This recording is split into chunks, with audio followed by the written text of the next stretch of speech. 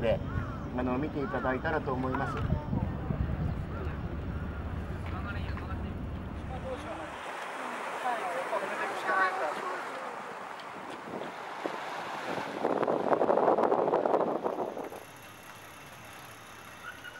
ちょうどあのこれ雨宿りもできますし火災は取ったんですがまあいつの間にかこのゴジラ岩というように呼ばれるようになりま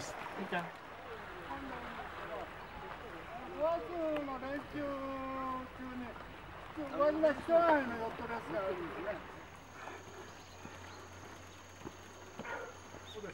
多分地元の人は知らない。だから知らせてもらない。